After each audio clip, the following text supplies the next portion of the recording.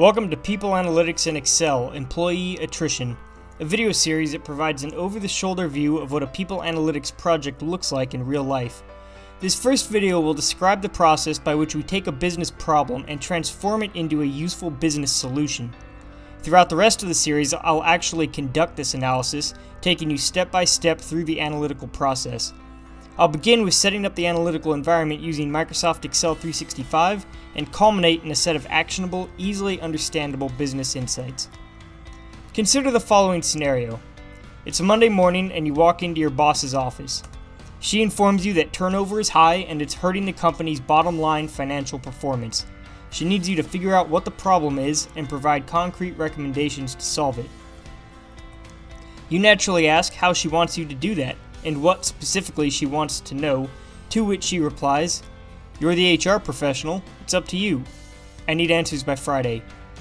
And she's right, of course, so you agree to get it done, while thinking this might be a great time to update your resume.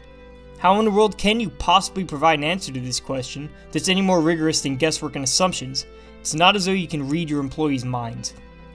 So now it's just you and your trusty computer.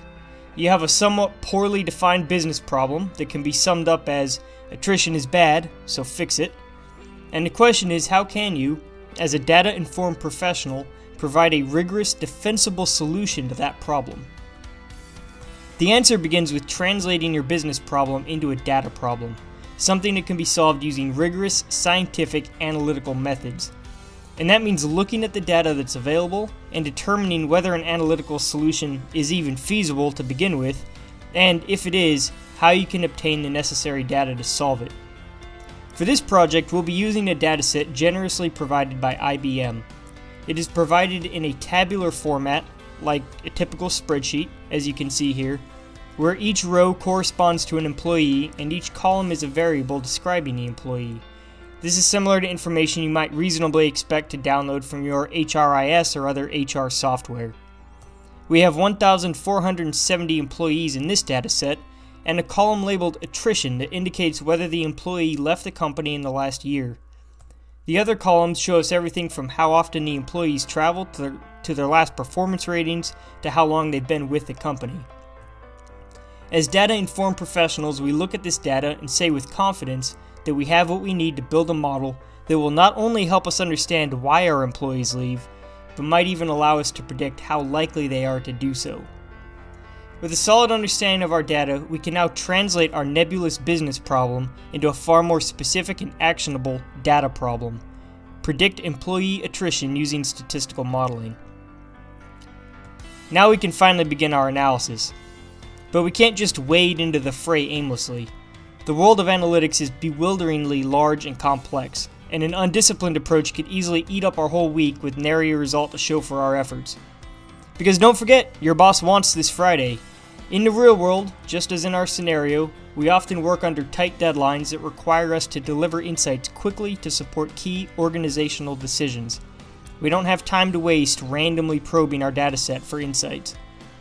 The method we'll use has five steps. In the first step, we'll obtain our data. We may need to scrape it from a website, query it from a database, or simply download it in a tabular format from an information system or the internet.